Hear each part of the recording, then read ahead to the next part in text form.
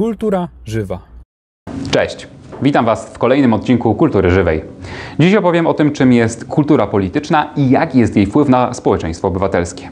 Najprościej mówiąc, kultura polityczna to ogół postaw, poglądów i zachowań politycznych e, społeczeństwa wraz z kształtującymi je i wyrażającymi ideami, wartościami i wzorcami działalności oraz instytucjami, organizacjami i przepisami prawa funkcjonującymi w ramach danego państwa. Do kultury politycznej zaliczyć można wiedzę o polityce, znajomość faktów, zainteresowanie nimi, ocenę zjawisk politycznych, sądy wartościujące to, jak powinna być sprawowana władza, emocjonalną stronę postaw politycznych, takich jak miłość do ojczyzny czy nienawiść do wrogów, a także uznane w społeczeństwie wzory zachowań politycznych, które określają, jak można i jak należy postępować w życiu politycznym. Kultura polityczna to coś w rodzaju smaru, który zmniejsza tarcia pomiędzy społeczeństwem a władzą, politykami i instytucjami państwa w systemie demokratycznym. To sposób bycia, czy inaczej mówiąc, funkcjonowania obywateli w przestrzeni publicznej. O kulturze politycznej możemy mówić, kiedy obywatel wstępuje w sferę życia publicznego. Ale po co nam w zasadzie kultura polityczna? Zasadniczo spełnia ona kilka ważnych funkcji w życiu politycznym.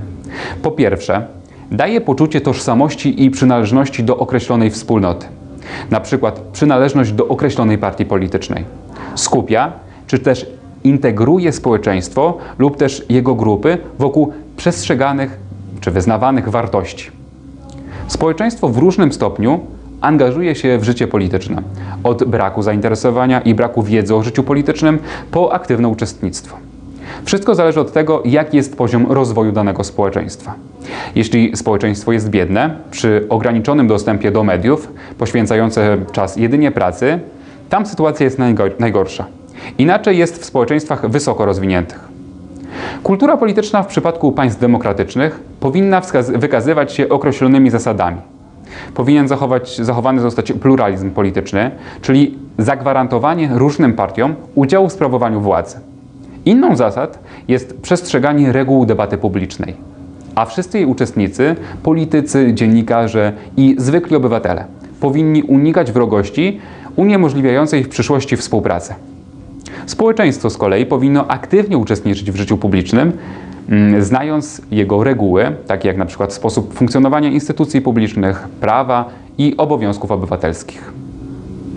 W ramach ogólnie rozumianej kultury politycznej społeczeństwa można wyróżnić e, różne podkultury polityczne, na przykład regionalne lub narodowościowe, dotyczące odmiennych doświadczeń historycznych, na przykład wskazania pewnych różnic w kulturach e, politycznych dawnych zaborów rosyjskiego, niemieckiego i austriackiego e, funkcjonujące w Polsce oraz części składowych systemu politycznego, przykład kultury politycznej elit, czy kultury politycznej reżimu i kultury politycznej społeczeństwa. I tak kultura polityczna może mieć mm, swoje różne odmiany od tradycyjnej kultury politycznej, w której uznaje się sakralny, czyli boski charakter władzy, e, a także zgody na to, że uprawnienia poddanego i władcy regulowane są tradycją oraz pewną trwałością i niezmiennością systemu. Inną z odmian kultury e, jest kultura polityczna stanowej demokracji, w której część społeczeństwa pozbawiona jest możliwości udziału w systemie politycznym, w tym rządzenia czy współdecydowania, a także że e, pozbawiony jest jakichkolwiek praw osobistych.